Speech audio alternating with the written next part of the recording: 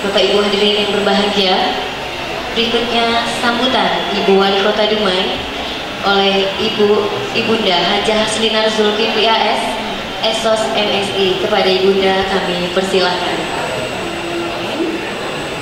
Assalamualaikum warahmatullahi wabarakatuh. Selamat pagi dan salam sejahtera untuk kita semua. Alhamdulillah, Alhamdulillah Rabbil Alamin. Wassalatu wassalamu ala asrafil anbiya wal mursalin wa ala alihi wa sahbihi rasulillahi ajma'in amma ba'du. Yang sama-sama kita hormati Bapak Direktur RSUD Kota Dumai Pak Dr. Haryanto SP ANMSC beserta seluruh jajaran baik itu Bapak Ibu para dokter, dokter spesialis, para kabak, kabin, dan kasih beserta kepala-kepala instalasi, kepala ruangan, komite medis dan komite perawatan yang kita banggakan Bapak Al Ustad Haji Zul Henry Rais LC MA selaku penceramah pada pagi hari ini. Kemudian ketua panitia hari ulang tahun RSUD beserta seluruh jajaran kepanitiaan dimuliakan Allah. Tentunya tak henti-hentinya kita memanjatkan puji dan syukur kehadirat Allah Subhanahu wa taala yang telah melimpahkan begitu banyak rahmat dan karunia-Nya kepada kita semua terutama nikmat sehat dan kesempatan sehingga kita diizinkan oleh Allah untuk bisa berkumpul bersama-sama dalam rangkaian kegiatan yang ditaja oleh pihak RSUD Kota Dumai.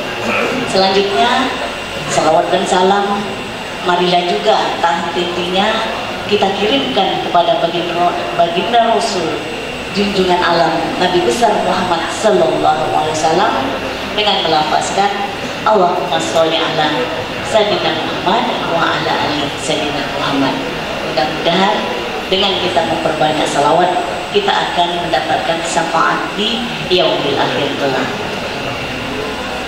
Bapak Ibu yang saya hormati, tentunya pada pagi hari ini kembali eh, kita merasa ber, berbahagia sekali karena di dalam rangkaian kegiatan hari ulang tahun RSUD yang ke-20 tahun 2019 ini diisi dengan kegiatan tausiah sekaligus eh, dilaksanakan peresmian pemakaian eh, gedung baru lantai tiga yaitu bidang kebidanan uh, perawatan dan VIP-nya. Tentunya pada kesempatan ini perkenankan saya selaku pribadi maupun selaku ketua tim penggerak pemberdayaan kesejahteraan keluarga Kota Dumai mengucapkan selamat ulang tahun untuk RUCD Kota Dumai yang ke-20 kepada segenap jajaran direksi, pejabat struktural dan fungsional dan segenap karya karyawan-karyawati Rumah Sakit Umum Daerah Kota Dumai ini semoga rumah sakit ini ke depannya semakin maju, berkualitas dalam memberikan pelayanannya yang terbaik. Bapak Ibu hadirin undangan yang saya hormati, tentunya sejalan dengan visi RSUD Kota Dumai tadi yang telah disampaikan oleh Bapak Direktur kita bahwa ingin menjadikan RSUD Kota Dumai ini menjadi rumah sakit yang terunggul di pantai timur Sumatera dengan bernuansa Melayu di mana untuk bisa memberikan pelayanan secara profesional dan berkualitas tentunya saya mengajak kita semua untuk memulai hal-hal yang sederhana dulu. Mungkin bisa dimulai dengan disiplin diri. Kemudian lakukanlah tugas tupoksi kita dan setelah itu berjalan dengan baik. Tentu kita yakin dan percaya nanti RSUD ini menjadi kebanggaan kota Dumai. Yang bertugas di RSUD kota Dumai ini telah menanamkan niatnya dari awal ini untuk pengabdian kepada masyarakat.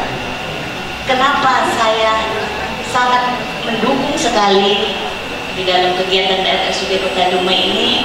Ini dibuktikan setiap ada lomba-lomba kemarin dalam rangka ini saya selalu hadir dan memberi dukungan karena saya melihat pegawai dari RSUD ini adalah manusia yang luar biasa yang spesial dari ibu semuanya.